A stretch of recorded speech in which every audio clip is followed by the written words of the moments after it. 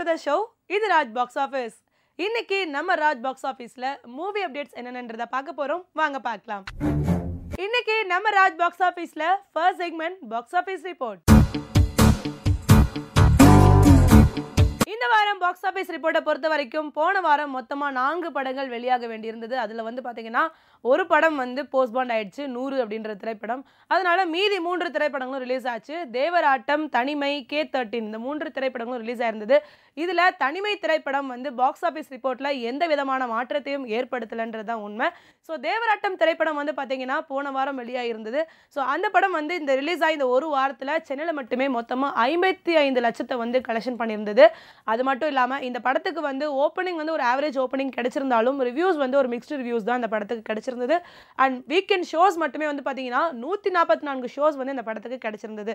So இன்னும் வரும் வாரங்களில் இந்த படம் வந்து தன்னுடைய இடத்தை பாக்ஸ் ஆஃபீஸில் தக்க வச்சுக்குமா இல்லையா அப்படின்றத வெயிட் பண்ணி பார்க்கலாம். தேவராட்டம் திரைப்படத்தை தொடர்ந்து போன வாரம் வெளியாயிருந்த மற்றொரு திரைப்படம் தான் கே தேர்ட்டீன் இந்த திரைப்படமும் வெளியாகி இந்த ஒரு வாரத்தில் படத்துடைய மொத்த கலெக்ஷன் சென்னையில் மட்டுமே அறுபது லட்சத்தை ரீச் பண்ணியிருக்கு. ஸோ இதோட நம்பர் ஆஃப் ஷோஸ் வந்து பார்த்தீங்கன்னா நூற்றி எண்பத்தி மூணு ஷோஸ் வந்து இந்த படத்துக்கு கிடைச்சிருந்தாலும் அந்த நூற்றி எண்பத்தி மூணு ஷோஸ்க்கு அறுபது லட்சம் அப்படின்றது ஒரு ஆவரேஜ் கலெக்ஷன் அப்படின்னு தான் சொல்லணும். ஆனால் வந்து ஓப்பனிங் வந்து பார்த்தீங்கன்னா ஆவரேஜாக இருந்தாலும் போக போக இந்த படத்தோட ரிவ்யூஸ் வந்து நல்ல ரிவ்யூஸ் இந்த படத்துக்கு கிடைச்சிருந்தது. ஸோ வரும் வாரங்களில் இந்த படத்தோட கலெக்ஷன் அதிகமாகுதா இல்லையான்றதை வெயிட் பண்ணி பார்க்கலாம். ரிலீஸ் ஆகி இரண்டு வாரங்களை கடந்தும் வெற்றிகரமாக தேட்டர்களில் ஓடிக்கிட்டு இருக்கக்கூடிய ஒரு மெகா பிளாக் பஸ்டர் திரைப்படம் அப்படின்னா அவெஞ்சர்ஸ் என் கேம் திரைப்படத்தை ஷியராக சொல்லலாம். ஸோ இந்த படம் வந்து பார்த்தீங்கன்னா ரிலீஸ் ஆகி இரண்டு வாரங்களை கடந்தும் இந்த படத்துடைய மொத்த கலெக்ஷன் எவ்வளோ அப்படின்னு பார்த்தீங்கன்னா ஒன்பது கோடியை வந்து ரீச் பண்ணியிருக்கு ஸோ இதோட நம்பர் ஆஃப் ஷோஸ் வந்து பார்த்தீங்கன்னா முந்நூறுலேருந்து ஐநூறு வரைக்கும் அதாவது வீக்ஸ் மட்டும் வந்து பார்த்தீங்கன்னா அவ்வளோ ஷோஸ் வந்து அதிகமாகிக்கிட்டே இருக்குது இந்த படத்துக்கு. அதுலேயும் வந்து ஹவுஸ்ஃபுல் ஆகிக்கிட்டு இருக்குது தேட்டர் ஃபுல்லாக இப்போ வரைக்கும் ஏன்னா ஆடியன்ஸ் வந்து வந்துக்கிட்டே இருக்காங்க அவெஞ்சர்ஸ் என்கேம் திரைப்படத்தை பார்க்குறதுக்கு. ஸோ இப்போ வரைக்கும் இந்த படத்துடைய கலெக்ஷன் ஆகட்டும் இல்லை ஷோஸ் ஆகட்டும் குறையாமல் அதிகமாகிக்கிட்டே இருக்குது ஸோ வரும் வாரங்கள்லையும் இந்த படத்துக்கு இன்னும் கலெக்ஷன்ஸும் ஷோஸும் அதிகமாகிறதுக்கு நிறையவே வாய்ப்புகள் இருக்குது அப்படின்றது தான் உண்மை. இப்போ நம்ம பார்க்க போகிற செக்மெண்ட் இந்த வாரம் new entry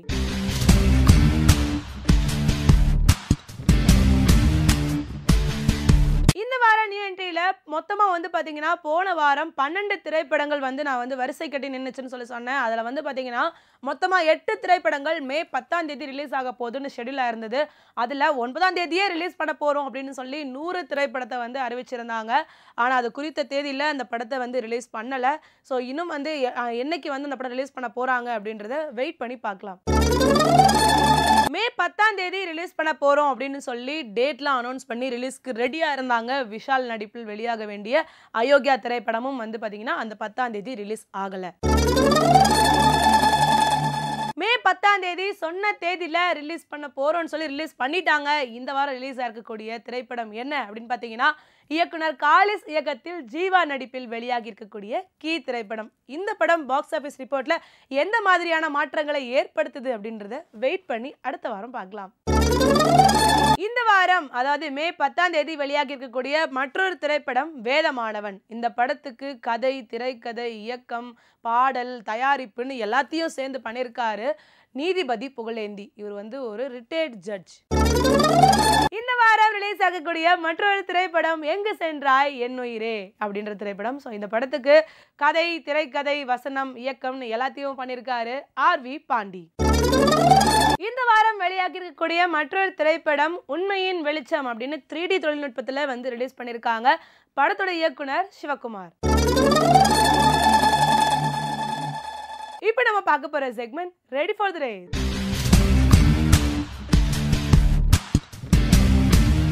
ready for the ரேஸில் மே பதினேழாம் தேதிக்கு மொத்தமாக மூன்று திரைப்படங்கள் ஷெடியூல் ஆயிருக்கு. அதில் தி மோஸ்ட் அவைட்டட் அப்படின்னா இந்த படத்தை சொல்லலாம். இந்த படத்தில் வந்து நடிச்சிருக்கிறது யார் அப்படின்னு பார்த்தீங்கன்னா எஸ் ஜே சூர்யா நடிப்பில் நெல்சன் வெங்கடேஷன் இயக்கத்தில் மான்ஸ்டர் அதே மே பதினேழாம் தேதிக்கு ரிலீஸ் கிடைக்கக்கூடிய மற்றொரு திரைப்படம் சிவகார்த்திகேயன் மற்றும் லேடி சூப்பர் ஸ்டார் நயன்தாரா நடிப்பில் இயக்குனர் ராஜேஷ் இயக்கத்தில் வெளியாக இருக்கும் மிஸ்டர் லோக்கல் திரைப்படமும் வந்து ஷெடியூலாக இருக்குது ஸோ சொன்ன தேதியில் வெளியாகுதா இல்லையான்றதை வெயிட் பண்ணி பார்க்கலாம். ஏன்னா இந்த படத்துக்கு இன்னும் போஸ்ட் ப்ரொடக்ஷன் ஒர்க்லாம் இன்னும் முடியலையாமே?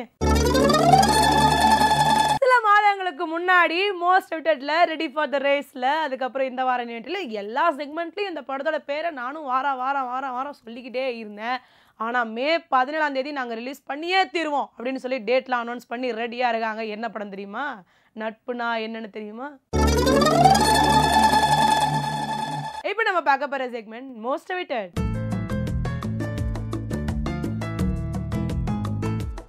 இந்த வாரம் மோஸ்ட் அவுட் லிஸ்ட்ல ஃபர்ஸ்ட் இருக்கக்கூடிய திரைப்படம் என்ன அப்படின்னு பார்த்தீங்கன்னா தும்பா அப்படின்ற திரைப்படம். இந்த படத்தை இயக்கியிருக்கக்கூடிய இயக்குனர் யார் அப்படின்னு பார்த்தீங்கன்னா ஹரிஷ் ராம். இந்த படத்தில் தர்ஷன் மற்றும் தீனா நடிச்சிருக்காங்க. கம்மிங் சூன் அப்படின்னு சொல்லிட்டு ஆட்லாம் போட ஆரம்பிச்சிட்டாங்க. அடுத்ததாக மோஸ்ட் லிஸ்ட்ல நான் பார்க்க போகிற திரைப்படம் என்ன அப்படின்னு பார்த்தீங்கன்னா கொலைக்காரன். இந்த படத்தை இயக்கக்கூடிய இயக்குனர் பேர் ஆண்ட்ரூ லூயிஸ் இந்த படத்தில் விஜய் ஆண்டனி மற்றும் ஆக்ஷன் கிங் அர்ஜுன் நடிச்சிருக்காங்க. படத்தை வந்து ஜூன் அஞ்சாம் தேதி ரிலீஸ் பண்ண போகிறோம் அப்படின்னு டேட் அனௌன்ஸ் பண்ணியிருக்காங்க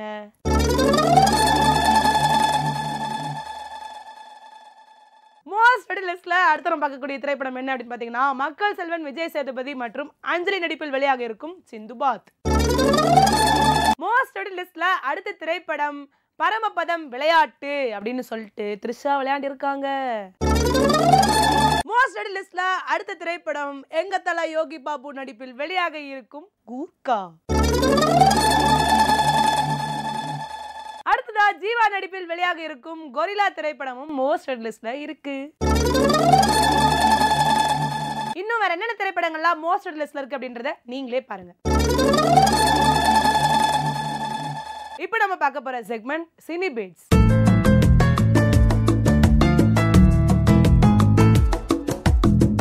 இந்த வாரம் சினிபீட் செக்மெண்ட்ல ரீசெண்டா நம்மளோட தமிழ் சினிமா இண்டஸ்ட்ரியில என்னென்ன ஈவெண்ட்ஸ் நடந்திருக்கு அப்படின்றத நீங்களே பாருங்க.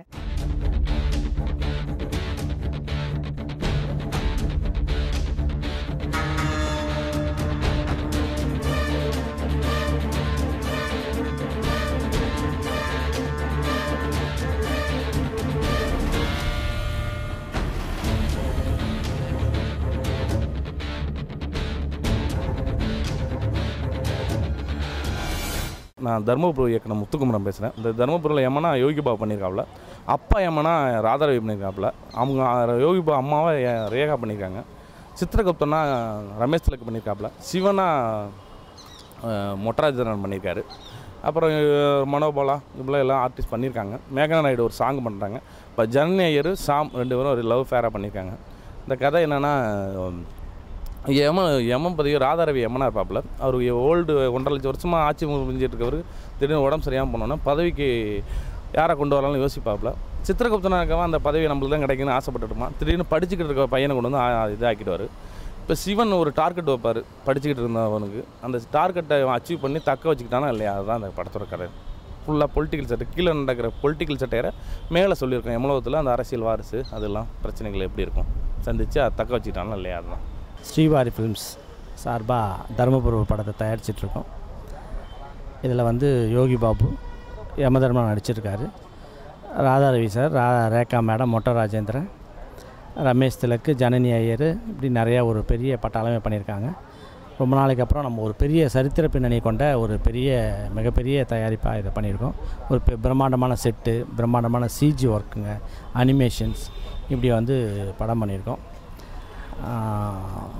இது ஒரு காமெடி அண்ட் ஃபேமிலி என்டர்டெயின்மெண்ட் ஒரு ஹோல்சம் என்டர்டெயின்மெண்ட் படமாக இருக்கும். இந்த படத்தில் வந்து ஒரு காமெடி கேரக்டர் பண்ணியிருக்கேன்.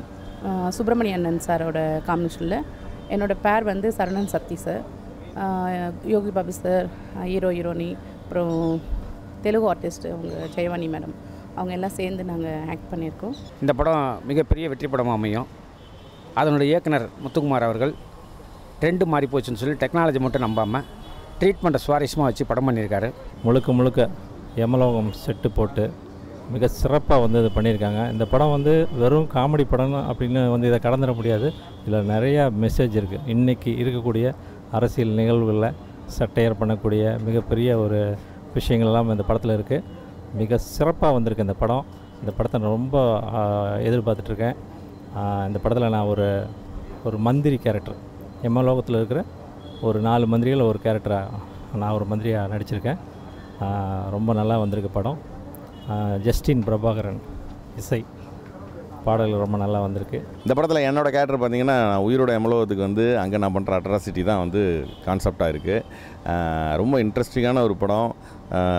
எந்த கவலையும் இல்லாமல் வந்து ஜாலியாக நீங்கள் ஒரு மூணு மணி நேரம் என்ஜாய் பண்ணுறதுக்கு இந்த படம் ஒரு சரியான லீவில் வந்து ஒரு குழந்தைகளுக்கு உண்டான அற்புதமான படமாக இருக்கும். முதல்ல என்கிட்ட சொன்னாங்க இதில் ஒரு ரொம்ப சிம்பத்தியான ஒரு லதாஸ் மதர் ஒரு கேரக்டருக்கு பண்ணுறீங்களான்னு இல்லை சார் நான் பண்ண மாட்டேன். வேறு என்ன கேரக்டருக்கு நான் இதுவரையிலும் ராதாரவியானோட ஆக்ட் பண்ணதில்லை. இதுதான் ஃபஸ்ட் டைம் இத்தனை வருஷத்தில். ஸோ யோகி பாபு சார் வந்து யமதர்மன் நான் பண்ணுறாரு அவருடைய மதர் கேரக்டருக்கு அப்படின்னு நான் அந்த கேரக்டர் நான் பண்ணுறேன் ஏன் மேடம் இல்லை எனக்கு அவர் கூட காம்பினேஷனில் இருந்தால் கொஞ்சம் காமெடியெல்லாம் அவர் பேரில் நான் கொஞ்சம் பேர் சம்பாதிச்சுக்கலாமே அப்படின்னு நினச்சேன். கொஞ்சம் காமெடி இருக்குது இந்த படத்தில் எங்கள் கேரக்டர் ரொம்ப நல்லா இருக்கு. ஆஃப்டர் ராட்சசன் ஃபுல் க்ரைமாக ஒர்க் பண்ணிட்டு ஒரு படம் ஆப்போசிட்டாக காமெடியாக ஒர்க் பண்ணுறதுல ரொம்ப சந்தோஷம். யோகி பாபு அண்ணா அந்த மாதிரி தான் நான் அஸ்டண்டாக வாய்ப்பு தேடினதுலேருந்து அவர் நான் பார்த்துட்டு இருந்தேன். ஸோ இந்த படத்தில் அவரை டோட்டல் கான்ட்ராஸ்ட்டாக நான் பார்த்துட்டு இருக்கேன். ஃபுல் ஃபன்னாக இருக்க படம். ரொம்ப ரொம்ப ஆடியன்ஸ் ரொம்ப பிடிக்கும். ஏ எல்லா சீன்லையுமே கிளாப் வந்துகிட்டே இருக்கும். அந்த மாதிரி ஒரு பஞ்சஸ் படத்தில் இருந்துகிட்டே இருக்குது ஒரு சாங் சுச்சுவேஷன் சொன்னாங்க. அது எனக்கு ரொம்ப பிடிச்ச சுச்சுவேஷன் அந்த ரெட்ரோ ஸ்டைலில் பண்ணிட்டோம் அப்படின்னு சொல்லி. எம்எஸ்வி சார் எல்லாருமே அந்த மேலே எமல எமலவத்தில் இருந்துட்டு அங்கே பண்ணுற மாதிரி. ஸோ அது எனக்கு ரொம்ப இன்ட்ரெஸ்டிங்காக இருந்துச்சு. ஸோ அந்த மாதிரி பிளான் பண்ணது. அந்த சாங்கை பாடினது கூட டிஎம்எஸ் சாரோட சன் தான் பண்ணாங்க அப்புறம் யோகி பாபு சார் பற்றி சொல்லணும். நான் அவரோட பயங்கரமான ஃபேன் ஏன்னா எனக்கு ரொம்ப பிடிக்கும். இந்த காமெடி வந்து நான் ரொம்ப விரும்பி பார்ப்பேன். அந்த மாதிரி படங்கள் பண்ணணும்னு எனக்கு ரொம்ப ஆசை. ஸோ அந்த வரிசையில் வந்து எனக்கு பிடிச்ச ஒரு க- ஒரு ஆக்டர் கூட நான் ஒர்க் பண்ணுறது வந்து ரொம்ப சந்தோஷமாக ஃபீல் பண்ணுறேன் என்ன சொல்கிறதுன்னு தெரியல ஹீரோ ஹீரோன்றாங்க இந்த படத்தில் வந்து ரெண்டு ஹீரோ ஒன்று வந்து நான் மேலோகத்தில் நான் யமதர்மன் ஹீரோ பூலோகத்தில் வந்து நம்ம சாம் லிசா ஹீரோ தான் பண்ணியிருக்காரு இந்த படத்தில். எங்கள் ரெண்டு பேருக்குள்ளே இருக்கிற வித்திய கதை தான் இது. ட்ராவல் தான் இது. அதனால் ரெண்டு பேருமே ரெண்டு டபுள் ஆக்ஷனாக பண்ணியிருக்கிறோம் நானும் அவரும். அப்புறம் முத்து சாரை பற்றி சொல்லணும். சொன்னார். நிறைய உண்மைகள் சொல்லாதீங்க சார். எங்கே இருக்கிறார்? உண்மை அதுதான் ஃபஸ்ட்டு ஃபஸ்ட்டு கதை எடுத்துன்னு வந்து நாங்கள் பேசி முடிச்சதுக்கப்புறம் ரங்கநாத் சார் வீட்டுக்கு வந்தார். வீட்டுக்கு வந்தோடனே பார்த்தாரு. பார்த்துட்டு பண்ணலாமாஜி அப்படின்னு மோதி அப்படியே ரொம்ப கட்ட வந்தார். நான் சாப்பிட்டேன் இருந்தேன். பண்ணலாமாஜி அப்படி பண்ணலாம் சார் இல்லை டேட்டு கண்டிப்பாக குத்துருவீங்களா அப்படின்னாரு. அதெல்லாம் குத்தலாம் சார் கண்டிப்பாக பண்ணுவோம் சார். அதே டைமில் தான் வந்து கோர்கா படமும் ஸ்டார்ட் பண்ணோம். ஒரே டைமில் ரெண்டு பேர் நண்பர்கள் முத்தும் சேம ரொம்ப க்ளோஸ் நண்பர்கள். நானும் சேமுக்கு ரொம்ப க்ளோஸ் நண்பர்கள்ன்றதுனால மூணு பேர் சேர்ந்து பிளான் பண்ணோம். இந்த படத்தை ஒரே டைமில் நம்ம முடிக்கணும் அப்படின்னு சொல்லி நாற்பத்தஞ்சு நாள் டே நைட்டாக நான் தூங்காமல் ஒன் ஹவர் கூட டைம் இல்லாமல் நான் தூங்காமல் உடம்பு குறைச்சேன். அதில் ஒர்க் பண்ண எல்லாரும் சண்முகம் சார் எல்லாருக்குமே தெரியும் என்ன நிலமைன்னு. ஏன்னா ஒரு ஒன் ஹவர் தான் எனக்கு தூங்க விடுவார் முத்து. பார்த்துட்டு சில டைம் மகேஷ் முத்துசாமி சார் வந்து கேமரா பார்த்துட்டு ரொம்ப டல்லாக இருக்கார் சார் என்ன சார் பண்ணலாம்? அப்படின்னாரு. அப்புறம் முத்து வந்து சொல்லுவார் நீங்கள் ஒரு ஒன் ஹவர் தூங்குங்க அதுக்கப்புறம் பார்த்துக்கலாம் அப்படின்னாரு. அதுக்கப்புறம் ஒரு ஒன் ஹவர் தூங்கிட்டு வருவோம். திரும்ப அப்படி தான் இருப்போம். ஆனால் அது என்னன்னே தெரிலங்க அது ஒரு கம்பீரமான கெட்டப்புங்க. இதில் அம்மா சொல்லியிருப்பாங்க ரேக்கா அம்மா சாரி ரேக்கா மேடம் சொல்லியிருப்பாங்க. என்ன சொல்லியிருப்பாங்கன்னா இந்த இந்த கெட்டப்பை போட்டு உக்கார அவனுக்கு ஒரு திமிரு இருக்கும் அப்படின்னு சொல்லுவாங்க. ஆனால் உண்மையிலே யமதர்மன் கெட்ட போட்டால் செம திமிரு இருக்குதுங்க. நீங்கள் இதில் வந்து சீரியஸ் போர்ஷன்லாம் பாருங்கள் ஆனால் நான் வந்து தூங்காமல் தான் பண்ணியிருப்பேன். அவ்வளோ வந்து முத்து சொல்லுவார். ஏங்க எனக்கே பயமாக இருக்குதுங்க அந்த சீரியஸாக பேசுகிற இடம்லாம் அப்படின்னு. ஏன்னா அந்த ஒருவேளை உள்ள இறங்கிட்டாரா என்னன்னு தெரில யமதர்மன். ஏன்னா இவ்வளோ பெரிய பெரிய ஜாம்பவான்கள் பண்ண கேரக்டர் உள்ள இது எல்லாமே. எனக்கு இது இந்த ஜென்ரேஷனில் கிடைச்சதுக்கு ரங்கநாத் சாருக்கும் முத்துக்குமார் சாருக்கும் நான் ரொம்ப நன்றி தெரிவிச்சுக்கிறேன். இது காலம் அழியாத ஒரு படமாக இருக்கும் என் லைஃப்பில்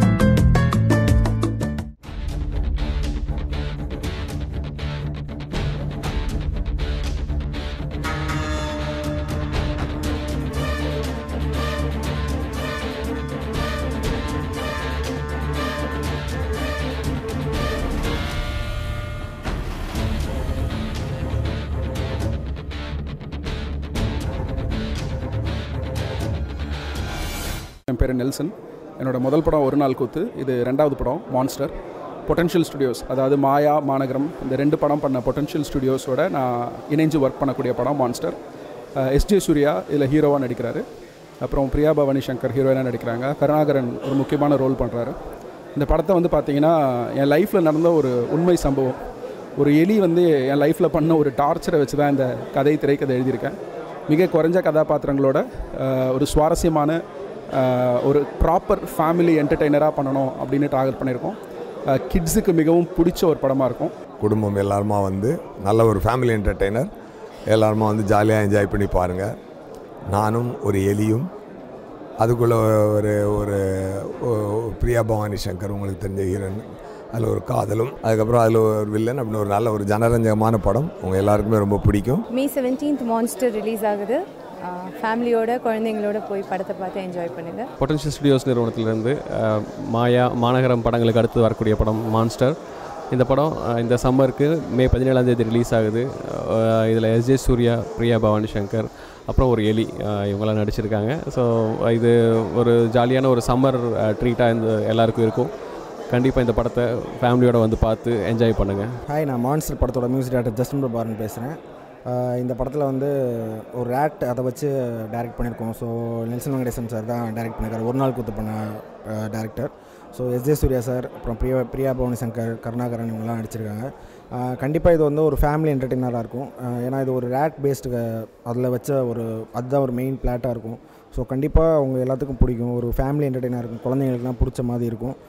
சாங்ஸும் வந்து இதில் வெரைட்டியாக பண்ணியிருக்கோம் ஸோ ஒரு புது ஐடியாஸ் எல்லாமே இதில் ட்ரை பண்ணியிருக்கோம் ஸோ கண்டிப்பாக இது ஆடியன்ஸில் போய் ரீச் ஆகும் நாங்கள் முழுசாக நம்புகிறோம் எடிட்டர் விஜய் சாபு ஜோசப் ஒரு நாள் கூத்து பண்ண டைரக்டர் வெங்கடேஷ் நில்ஸ் நில்சன் வெங்கடேஷோட ரெண்டாவது படம். போன படத்தில் ஒர்க் பண்ண அதே technicians cast and crew I mean crew இந்த படத்தில் ஒர்க் பண்ணுற கேமராமேன் மியூசிக் டேரக்டர் நான் ஸோ நாலு பேரும் போன படத்தில் எந்த பெரிய பாண்டிங் இருந்தோ அதே அளவு இந்த படத்தில் பெரிய பாண்டிங்கோட ஒர்க் பண்ணோம். அந்த படம் முடிஞ்ச உடனே பேசும்போது சொன்ன கதை தான் இந்த எலி வச்சு பண்ணோம் என்னடா எலி வச்சு பண்ணுறோம் இது எப்படி ஒர்க் அவுட் ஆகும்? அப்படின்னு நினைக்கும் போது மற்ற எல்லா படத்திலும் டிஃபிகல்ட் டாஸ்க் நிறையவே இருந்தது இந்த படத்தில். ஏன்னா எலின்றது சொல்லும்போது அது அது எவ்வளோ ஸ்பீடாக ஒர்க் அவுட் ஆகும் எவ்வளோ ஸ்பீடாக ஓடும்னு எல்லாருக்கும் தெரியும். அதை வந்து நடிக்க வைக்கிறதுன்றது சாதாரண விஷயம் கிடையாது. அதை நெல்சனும் இந்த படத்தில் கேமராமேனும் நல்லாவே பண்ணியிருக்காங்க. So full credit goes to the both of them அப்புறம் இந்த படத்தில் எடிட்டிங் டாஸ்க் பொறுத்தவரை ரொம்ப டிஃபிகல்ட் டாஸ்க் நிறையவே இருந்தது. ஏன்னா எலி இல்லாமல் எலியோ ஃபீல் பண்ண வைக்கிற மாதிரி ஷார்ட்ஸ் நிறைய இருக்கும். அது எலியோட பண்ணும்போது ஷார்ட்ஸ் நிறைய இருக்கும். ரெண்டுமே மேட்ச் பண்ணி பண்ணணும். இது வந்து நிறைய விஷயங்கள் ஒர்க் அவுட் பண்ணணும் ஸோ கண்டிப்பாக இந்த படத்தில் கிட்ஸ் ஃபேமிலியோட வந்து என்ஜாய் பண்ணது சம்மருக்கு மியூசிக்கல் ஃபிலிம் ஜஸ்டின் வந்து ஒரு நாள் கூத்துக்கப்புறம் என்னோட சேர்ந்து ஒர்க் பண்ணக்கூடிய படம். இதுலேயும் ஒரு அடி அழகை மாதிரி ஷான்ரோடன் ஒரு பாட்டு பாடியிருக்காரு. சித்து ஒரு பாட்டு பாடியிருக்காரு. அஞ்சு பாட்டு இருக்குது அஞ்சு பாட்டுமே ரொம்ப பியூட்டிஃபுல்லாக வந்திருக்கு.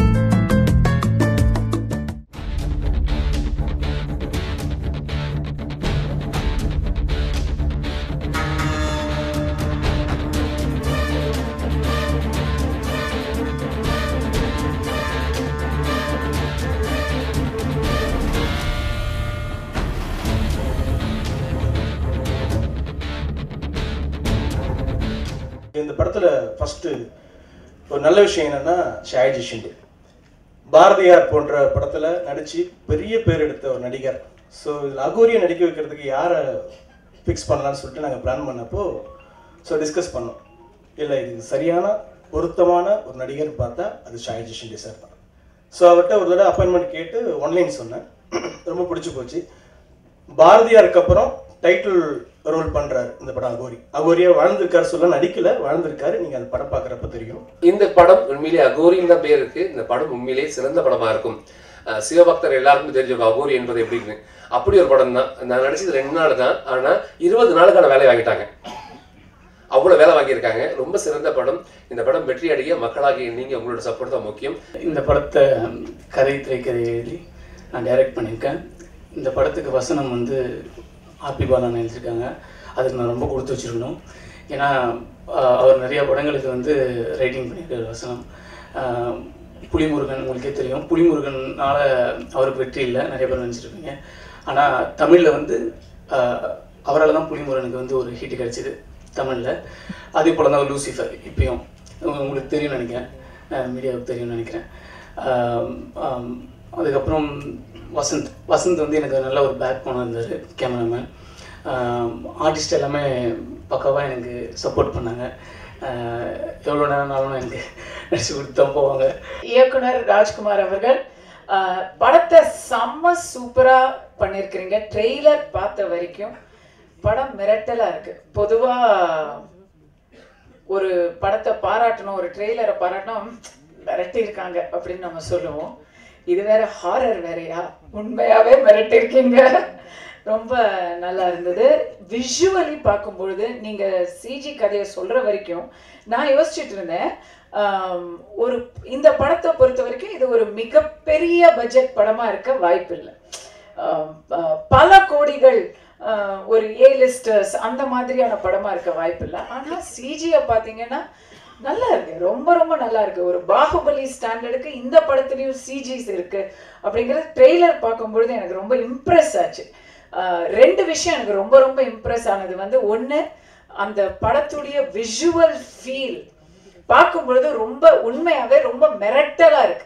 ஹாரருங்கிற ஒரு மிரட்டலை தாண்டி ஒரு அவுட்புட்டுங்கிற விதத்துல ரொம்ப ரொம்ப மிரட்டலா இருக்கு. செகண்ட் எனக்கு ரொம்ப ரொம்ப இம்ப்ரெஸ் ஆனது வந்து மியூசிக் ஒரு முதுகெலும்புல குரு குரு குரு குருன்னு ஏறி ட்ரெய்லர் முடியறதுக்குள்ள ஒரு சில்லிட்டு போகுது. ரொம்ப ரொம்ப ரொம்ப ஸ்கேரி மியூசிக் ரொம்ப த்ரில்லிங் மியூசிக் ஒரு த்ரில்லருக்கான horror த்ரில்லருக்கான extremely good visual as well as audio effect ரெண்டுமே நான் ட்ரெய்லரை பார்த்தேன்.